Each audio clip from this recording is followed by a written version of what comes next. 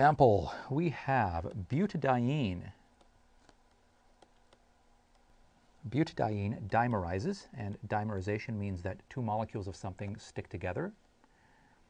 Uh, butadiene dimerization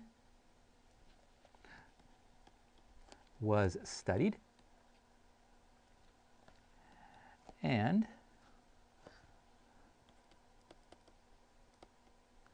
the following kinetic data were obtained. Were obtained. Okay, so let's go ahead and write out the formula.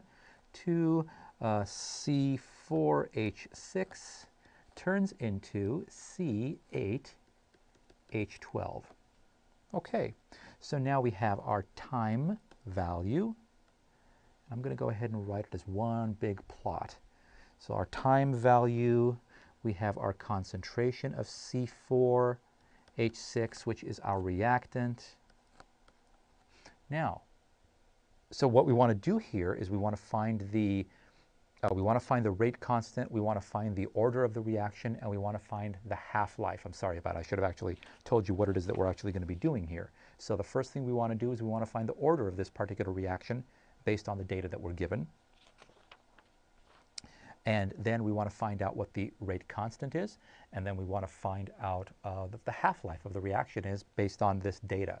So T, let me go ahead and write this down.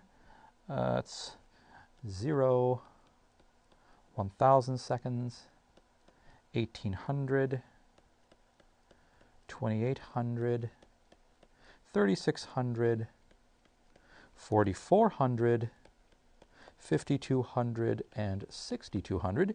And what we have is 0 0.0100, 0 0.0625, 0 0.0476. No, that's not right. That's 0 0.0100. So this is going to be 0 0.00625 the butadiene is diminishing. 0.00476, 0.00370, 0.00313, 0.00270, and we're almost done, no worries.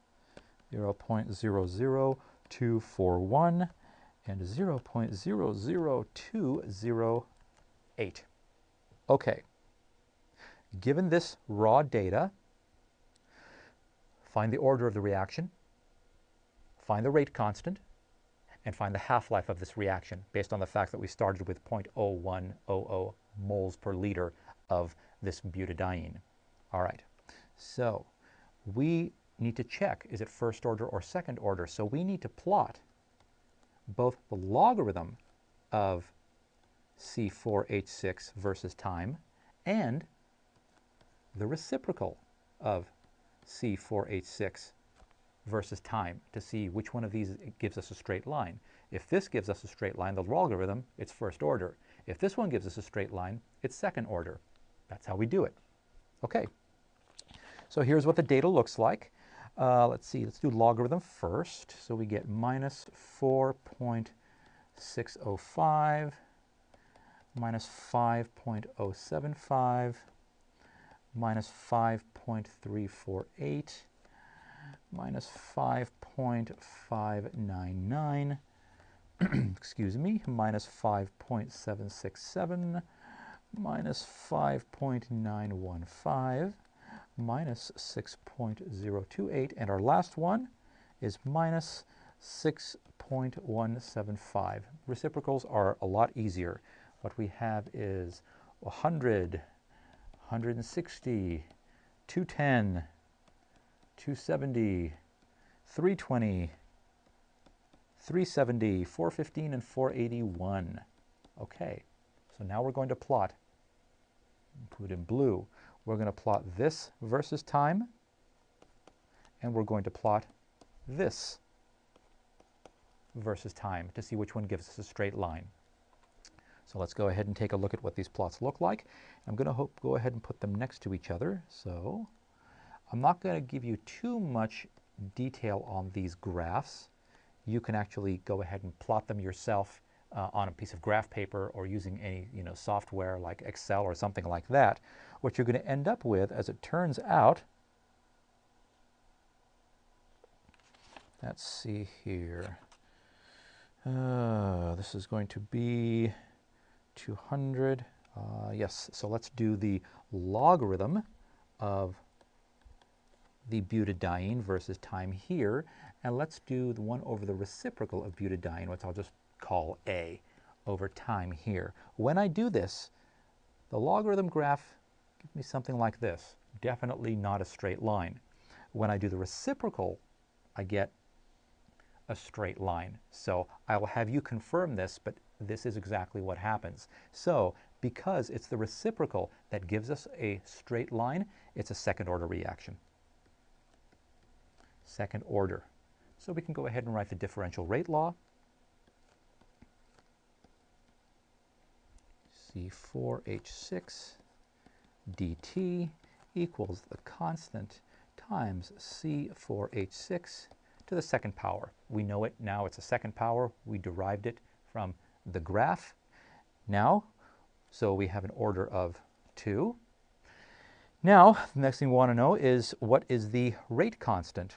Okay, well, the rate constant, the best thing to do is to go ahead and, um, let's see, how shall we do the rate constant? Uh, let's just go ahead and use the integrated rate law. So we know that the second order is 1 over the concentration of A equals minus K. Actually, you know what? What am I saying?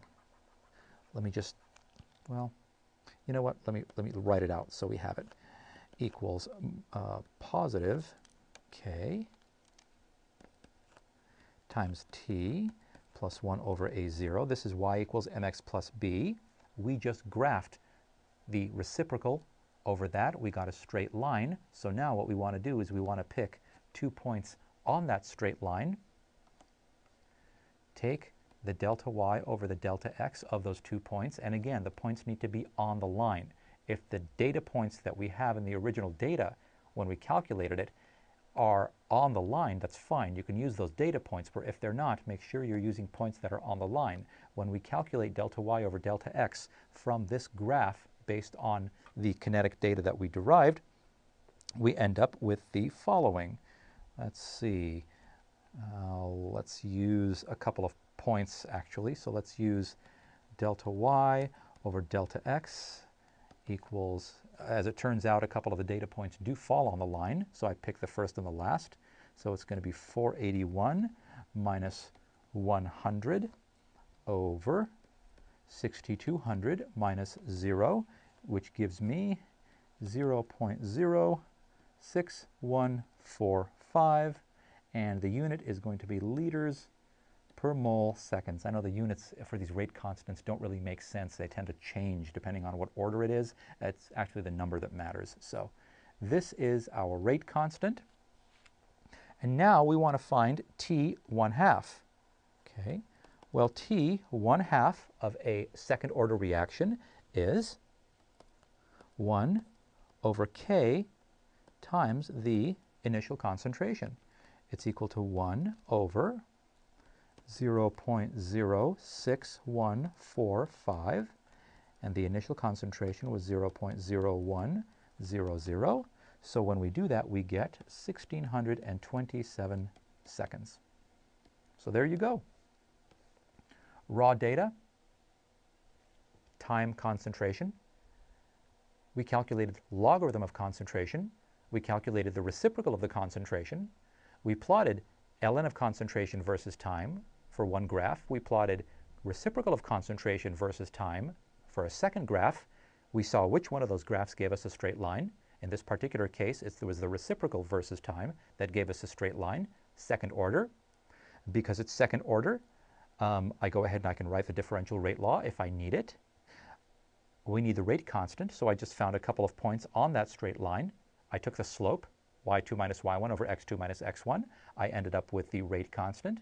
And then, because I have the half-life formula, I have const the rate constant which I found. I have the initial concentration, which is the initial concentration from raw data. I was able to calculate the half-life of this reaction. Very, very straightforward. Nothing altogether too complicated. Again, differential rate law, integrated rate law, half-life. Those three things are what's important as far as the kinetics of a reaction are concerned. Okay, that was second order